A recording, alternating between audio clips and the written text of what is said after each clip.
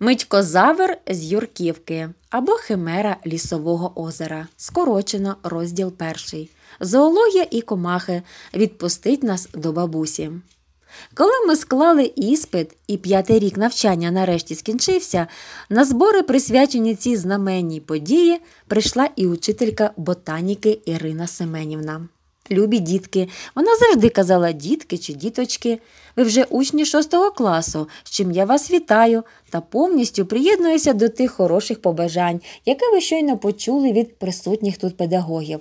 Хочу вам ще раз нагадати, учитися в шостому класі де в чому легше, а де в чому трудніше, ніж в п'ятому. Ми з вами, зокрема, будемо вивчати зоологію. Той, хто не знав нашої ботанічки, міг би подумати, що цілісінькими днями ми тільки й сушили голови над тим, як би під її керівництвом що глибше зрозуміти навколишній світ. Насправді ж, ми мало любили ботаніку, та й не можу сказати, щоб і зоологія вигравала в нашій хлоп'ячій уяві привабливими веселковими барвами.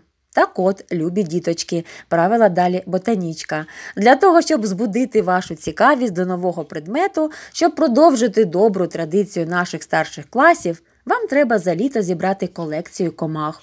Ого, перебив її шумило. Та якщо всі школи візьмуться до цього діла, наступного літа вже не буде чого ловити. Пам'ятаєте, я розповідала вам, як збирати таку колекцію. Тепер і я згадав стоси невеликих коробок із скляним верхом, що припадали порохом у кабінеті зоології. А можна вдвох збирати одну колекцію, схопився з місця Митько. Можна, тільки щоб і видно було, що її робили двоє. Така колекція має бути більшою і кращою, тільки не так, як торік. Цим вона натякала на гербарі рідного краю, який треба було зібрати минулого літа. Тоді ми й не думали збирати його, а потім Митько таки знайшов якийсь гербарій. Ми його підписали та здали, навіть не поцікавившись, що воно таке.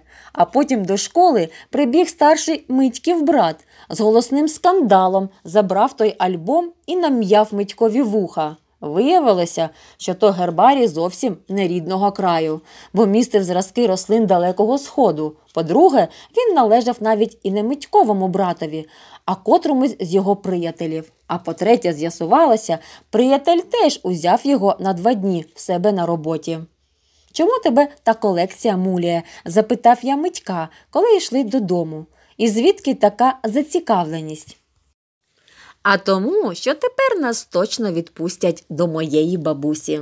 Тут варто зазначити, що ми з Митьком давно мріяли поїхати до Юрківки, села, де жила Митькова бабуся.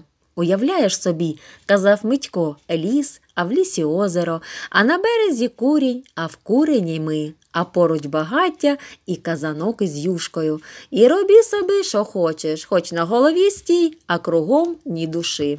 Отож ми й докучали моїм батькам. Митькові були не проти. Канючили мало не щодня.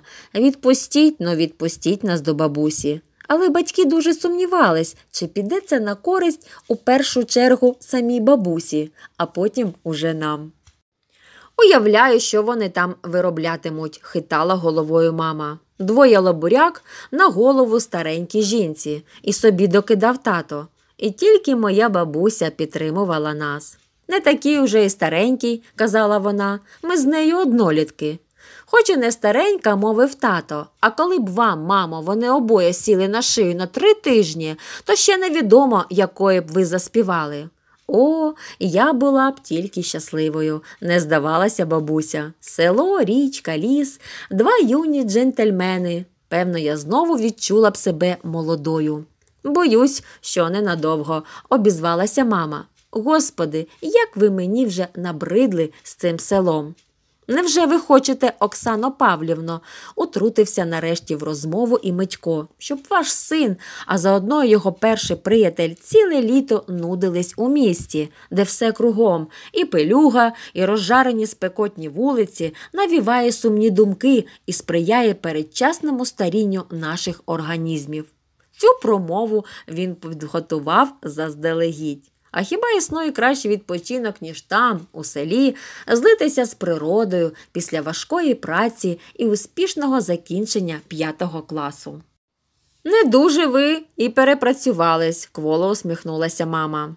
А того, хто не принесе 1 вересня колекцію до школи, не переведуть у шостий клас.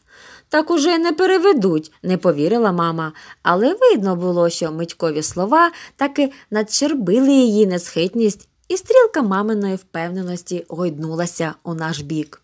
А може, і просто двійку поставлять, не здавався Митько.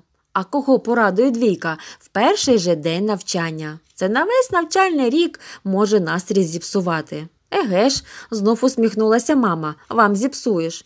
Ну то як? звернулася до тата. Я відчув, що дмухнуло сприятливим вітром. Та нехай уже їдуть, одмахнувся він, а то ж спокою не даватимуть ціле літо. Тільки щоб бабусю слухали. Ура! закричали ми і вибігли з кухні, але в передпокої на мить затрималися. Чула, чула? сміявся тато. Передчасному старінню наших організмів, га? І настрій у них на цілий рік зіпсується. Ех ти, закинув я Митькові. Та це ж вони з нас глузують. Ага, потюхав він потилицю. Переборшили трохи, ну та нічого. Головне, мета досягнута. Не виходьте на зупинках із вагона, кричала вслід поїздові мама. Зразу ж дайте телеграму, не відставала від неї бабуся.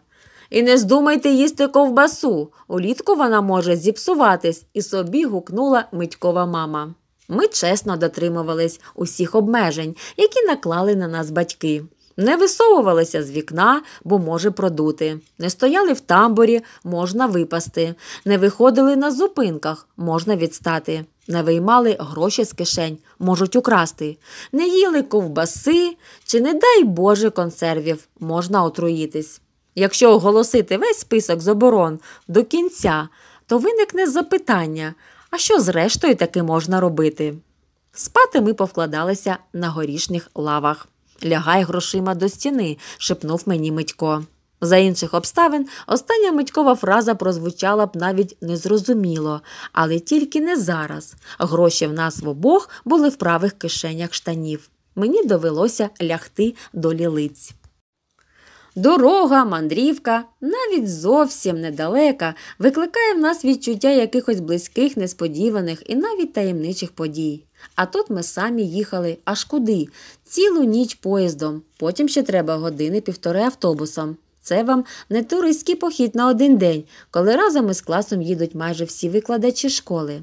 Коли я прокинувся, уже розвидніло. Митько тихенько сопів із правицею в кишені. На столі віддзвонювали склянки з чаєм, точніше, з-під чаю. До речі, зазирнув до купе провідник. Мені здається, зараз ваша станція, молоді люди. Я штовхнув Митька і простяг руку по рюкзак.